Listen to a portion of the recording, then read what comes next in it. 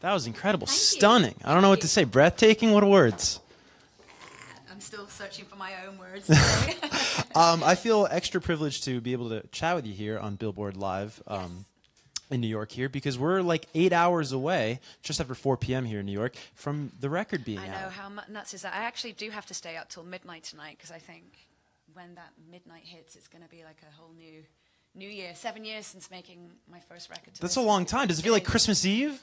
If yeah, it feels like Christmas Eve, like I'm about to turn 21 again and all that good stuff. Yeah, I can't imagine the excitement. But actually, if you could put it into words uh, for the fans watching right now, what does it kind of feel like? Seven years, that's a long time. You must be an entirely different person now than you were the last time Yeah, you put out a definitely. It's a very different person from where I was seven years. I mean, I have two young kids. Well, when I first made the Ghost Who Walks, my kids weren't even in school, and now they're my daughter's in middle school and all that stuff. Yeah. So They're gonna have an opinion on this record. Oh, they do have opinions on. They think my music's really dark. My daughter constantly asks me, like, "Why does it have to be so depressing?" yeah, yeah.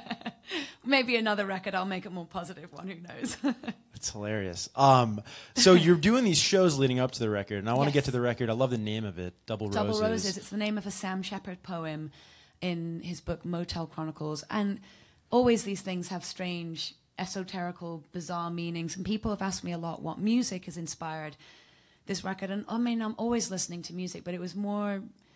Uh, more subtle things that were inspiring this record, and I read that poem. And I know it sounds a little bit pretentious, but I've always had a crush on Sam Shepard anyway. So it just meant I don't I can't explain what it meant to me, but I knew that my record had to be called Double Roses. Yeah.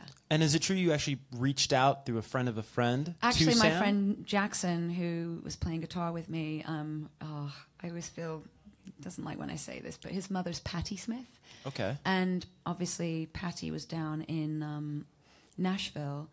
As and I'd made the record, and I wanted to call it Double Roses, and I'm speaking the double his poem at the end of Double Roses, and I asked Jackson what to do, and he said, "Well, let me call my mum and ask her." And I was going to her book reading, so she was like, "Write him Sam Shepard a letter, give it to me, and I'll give it to him," and that's how it all worked out. That's beautiful. This whole record has been a series of really wonderful coincidences that have sort of, um, over the course of seven years, have uh, kind of all magically got together. But it was interesting because none of it sort of was planned that way at all. Right. You talk about inspiration, and you know, normally when a, when an artist or a group or a band they get in the studio to record a record, you know, maybe it's over three weeks or a year to sort of like you know have life experiences. You have seven years Yeah. to sort of draw inspiration from. Yeah. What were the overarching uh, themes or or notions that you did draw from for this record? I think, you know, I mean, I'm 38 years old. I'm no spring chicken anymore. But I think there's a certain point, maybe it's a sort of very female perspective, you know, but as a woman, I've seen a lot, I've lived a lot. I've, you know, those who don't know, was um, I've been a model for over 20 years. I left home when I was 15. But I've lived a very strange, a quite unusual life. And now I live in Nashville, Tennessee. So there was just, you know, what inspires anything. You just sort of live, and writing songs has always been my way of sort of processing stuff and making sense of my life. And I do think this record is really sort of a, I think coming of age is the wrong, wrong expression. It's sort of coming into myself. This record, I felt like I had a lot of things to kind of contend with, and I sort of, you know, there's a lot of water imagery in this record as well. It's almost like I felt like I was swimming through sort of treacherous oceans to get through to the calmer side. So that's really what it represents. Yeah. yeah. Is this the truest self you've ever sort of put forth on a, a piece of music? I think so. I mean, obviously, with my first record, The Ghost Who Walks, I was still sort of, you know, I'm a strange bird. I take my time on these things, and I, I think with The Ghost Who Walks, I wrote the songs, and within like the next day, went into the studio and recorded them because obviously, you know, my ex-husband is Jack White, and he knew that there was no way, you know, I, I'm s- uh, chronically hard on myself, so he knew in order to just to get me in the studio, I couldn't, I didn't have enough time to think, so just throw me into that situation. But with this record, obviously seven years is a long time, right? So I had a lot of time to write a ton of songs and really dig deep. I realized with this record, it's the classic second record thing, like how can you break the mold? Like the artists that I like really change, transform themselves in each and every record, and I knew the songs that I connect to are very sort of you know, universal themes of life. And I realized I had to dig deep into those themes because that's the stuff that, you know, moves me ultimately. And I wanted to sort of, you know, try as hard as I could. Yeah. Absolutely. And something you, that I thought was really cool you told me before we went live Yeah. is that this, you know, it's been seven years, but it wasn't like seven years and you wrote all, all this material, you know, in three months. You were telling me there's songs from six years ago Yeah, that you wrote six years ago that Yeah. actually wound up on the record. Yeah, there's um, Wonder Blind, which is the first song of the record, and Hell and High Water. Um, I recorded demos of those years and years ago, and then the last song, Distant Shore, was the one I wrote literally hours before I got on the plane, before going to record the record. And Really? I mean, I've written a ton of songs. Even for this record, we recorded probably 23, and you know, again because it's been seven years, it felt a little bit egotistical to come out with like 23 double re- double album. so we wrote, we brought it down to 10 and left it at that. And it's 10 that I feel very strongly about and feel like really captures um, where I've been and where I'm going. Absolutely. And I mean, uh, you alluded to this just before you were a, you were a model Yeah. before this. Funny, for a right? For a little while. um, but there was a time in your life I've read where you actually kept this whole music thing, the songwriting, it all secret until Yes. your mid twenties. Yeah. I How, mean, how did yeah. you manage to do that?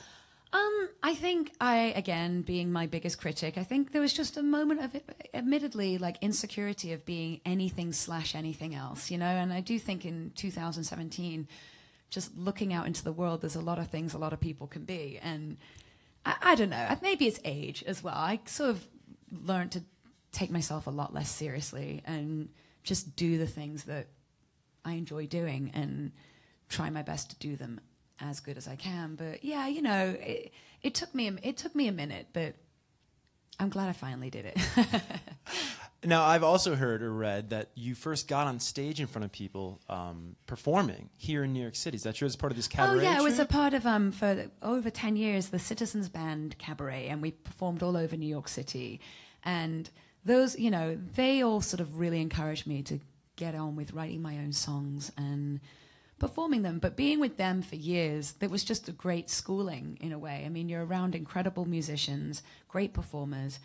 Getting to sing songs, I wrote a couple of songs that we performed in the cabaret, and that was sort of the the you know, genesis of me becoming my own songwriter. I think, again, I've been writing songs for as long as I can remember. Uh, I lived in the East Village for God knows how long and had a like a little four track that I'd record stuff on. But again, it, you know, I tend to try these days not to overthink why I didn't make more records sooner because everything seems to have its mo, you know, its reason for things. So I'm ha- I may have not made Double Roses if I started making music sooner. So it all it all sort of ends up the way it ends up. Yeah, it's a beautiful thing. Um, you're doing these shows this week. I want to talk Yeah. about. You played Third Man Records sure in did, uh, yeah. Nashville, Yeah. um, and then you're going to be playing in Brooklyn yes, here at Rough Trade, yeah. tomorrow night. Tomorrow night, yeah. So talk a little bit about that show. I know you mentioned it before. Well, I'm a massive Rough Trade fan anyway. I mean, that's good, like the stuff of my childhood. I mean, it was Rough Trade and 4AD. I would sort of obsessively go. Remember Kim's video? Are you too young for Kim's video? I don't remember You're Kim's too video, young for but- Kim's video. oh, wow. Well, I used to live in the East Village, and Okay. there was an amazing record store called Kim's Video, and they had the best movies, the best records, the best pretty much everything. On. And big music snobs they were. So I learnt my music snobbery from them. And they would always have the rough trade section in the store and the, you know, 4AD and all that stuff, all the labels that I was a big fan of. So, you know, rough Trade, they're, you know, pioneers of sort of great indie and alternative music. So I'm very happy to play there. Absolutely. And I'm playing there in London as well. Really? Yeah. Okay. Yeah. Now, anybody watching right now in the New York City area, or maybe even Brooklyn specifically, is that um, how do you gain access to that show tomorrow night? Is it? Probably a good question. Look on my website. Yeah, I can buy out- tickets, I guess. Yeah. I would hope. right on. Um, Look on my website. There you go. And Rough Trade's website probably too. I'm not sure. Awesome. Yeah, yeah.